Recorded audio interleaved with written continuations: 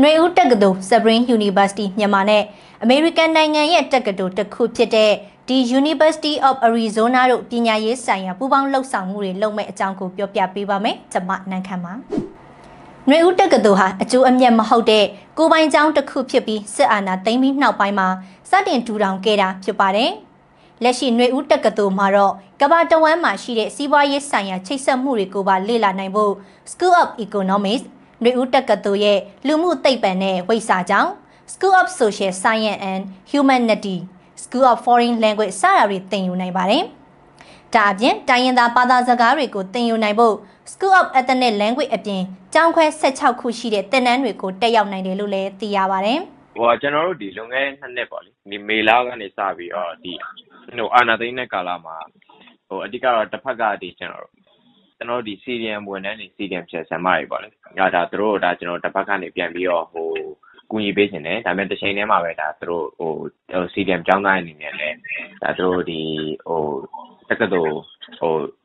ဒီဆက်ဆက်အာဏာရှင်လာကျွန်တော်ဆန္ဒပြစပိတ်မောက်ကြတဲ့အတွက်ဒါကျွန်တော်ကြောင်းဆက်မတက်ဘူးပေါ့နော်ဒါသူတို့ရဲ့ဒီကြားကလာပညာရေးမှာ ကျွန်တော်တို့ကဒီစိတ်တစ်ပိုင်းနဲ့ဒါသူတို့သူတို့ ကူညီပေးခြင်းတယ်ပေါ့ဗျာဆိုတော့ အဲ့တော့ဟိုအဲ့ရွယ်ချက်နဲ့ဒါကျွန်တော်စတင်ခဲ့ဖြစ်ပါတယ် စစ်အာဏာသိမ်းပြီးနောက် စစ်ကောင်စီရဲ့ ပညာရေးကိုစန့်ကျင်တဲ့ ဆရာ ဆရာမနဲ့ ကျောင်းသား ကျောင်းသူတွေအတွက်အထူးကရည်ရွယ်ဖွင့်လှစ်ထားတဲ့ Zabrin University မြန်မာဟာ ပြီးခဲ့တဲ့ မတ်လ20ရက်နေ့မှာပဲ အမေရိကန်နိုင်ငံက ဒီ University of Arizona နဲ့ပထမဆုံးအကြိမ်အဖြစ်သဘောတူညီမှုစာချုပ်လာရေးထိုးခဲ့တယ်လို့သိရပါတယ်။ဒါဟာမြန်မာကျောင်းသားတွေအတွက်ပညာရေးဆိုင်ရာပူးပေါင်းဆောင်ရွက်မှုတွေလှုပ်ဆောင်ဖို့ဖြစ်တယ်လို့ဆိုပါတယ်။ဟိုဒါကျွန်တော်တို့ရဲ့နေတက္ကသိုလ်တစ်ခုလုံးနဲ့ဒီ The University of Arizona ရဲ့ဒီ institution တစ်ခုလုံးနဲ့ဒါကျွန်တော်အမွေကိုခြင်းဖြစ်တယ်။အဲဒီနောက်မှာဆိုလို့ရှိရင်ဒီကျွန်တော်တို့ဟိုမြန်မာနိုင်ငံကဒါကျွန်တော်အခုလက်ရှိဒီ CDM ကျောင်းသားတွေအတွက်ဒီလူငယ်တွေအတွက်ပေါ့လေဒါကျွန်တော်တို့အနေနဲ့ ဟိုဒီ credit ရနိုင်မဲ့ဒါကျွန်တော်ရက်တို့သင်တန်းနေတာကျွန်တော်လာဖို့ရှိတယ်အဲ့ဒါလည်းဒီဟို institute နှစ်ခုလုံးကဒါကျွန်တော်တို့စပြီးတော့ဟိုပြင်ဆင်နေတဲ့အပိုင်းဒါကျွန်တော်စရှိနေပြီပေါ့လေပြီးသွားဆိုလို့ရှိရင်ဒီကျွန်တော်တို့အာဟိုဒီဘက်ဟိုတက္ကသိုလ်ကျောင်းသားအချင်းချင်းပေါ့လေဒီဘက် US ဘက်ကတက္ကသိုလ်ကျောင်းသားတွေပါမယ်ကျွန်တော်တို့မြန်မာနိုင်ငံတက္ကသိုလ်ကျောင်းသားတွေပါမယ်အဲ့ဒါဒီရှမ်းနိုင်ငံသုံးနိုင်ငံတက္ကသိုလ်ကျောင်းသားတွေပါမယ်ဒါသူတို့နဲ့လည်းဒီကျွန်တော်တို့ ဟို virtual exchange အာ activity ပုံစံမျိုးတွေပေါ့နော်ဒါကျွန်တော် case study တွေဆွေးနွေးကြမယ်လို့အစီအစဉ်တွေပါတယ်ပြီးနောက်ဆုံးတစ်ခုဒီကျွန်တော်စီစဉ်နေတဲ့အပိုင်းကတော့ဟိုအခုလက်ရှိဒီကျွန်တော်တို့တက္ကသိုလ်မှာ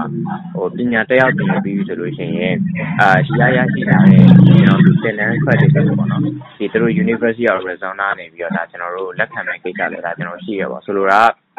ဟိုကျွန်တော်တို့ဒီဘွဲ့ degree ဒါကျွန်တော်တို့မပေးနိုင်သေးဘူးဆိုရင်တော့မှဒီကျွန်တော်တို့မှာလက်ရှိနေတက္ကသိုလ်မှာသင်တက်ထားတဲ့ဟိုသင်တန်းသားတွေအနေနဲ့ဒါကျွန်တော် University of Arizona မှာဒါသူတို့ဟိုပညာဆက်လက်သင်ယူခြင်းနဲ့ဟိုဘက်မှာသင်တန်းတွေဆက်တက်ခြင်းနဲ့ဆိုလို့ရှိရင်လည်းဒါကျွန်တော်တို့ဟိုပို့ပြလွယ်ကူနိုင်တယ်မြန်ဆန်နိုင်တယ်ပေါ့လေဒီ University of Arizona နဲ့ပူးပေါင်းဖွင့်လှစ်မဲ့ရက်တိုသင်တန်းတွေကနေ CDM ပြုလုပ်ထားတဲ့ကျောင်းသားတွေအနေနဲ့သင်ကြားရေးအသည့်အမှတ်ပြုမှုတွေရရှိသွားမှာဖြစ်တဲ့အပြင်ထပ်မံပြင်ဆင်နေတဲ့သင်တန်းတွေလည်းရှိတယ်လို့ဆိုပါတယ်။ ဒီ University of Arizona ဟာကမ္ဘာထိပ်တန်းတက္ကသိုလ်တွေကတစ်ခုဖြစ်ပြီးပညာရေးဆိုင်ရာ program တွေနဲ့ကျောင်းသားပဟိုပြုသင်ကြားရေးနှီးစနစ်တွေပါဝင်တဲ့အတိုက်အဝန်းတစ်ခုကိုဖန်တီးနိုင်ဖို့တန်ဖိုးထားတဲ့တက္ကသိုလ်တစ်ခုဖြစ်တယ်လို့လည်းຫນွေဦးတက္ကသိုလ်ကထုတ်ပြန်ထားတဲ့ထုတ်ပြန်ချက်မှာဖော်ပြထားပါတယ်။ DNA ရဲ့နောက်ဆုံးရသတင်းတွေကို DNA ရဲ့ Facebook page နဲ့ YouTube channel တွေမှာစောင့်မျှော်ကြည့်ရှုနားဆင်နိုင်ပါတယ်ရှင်။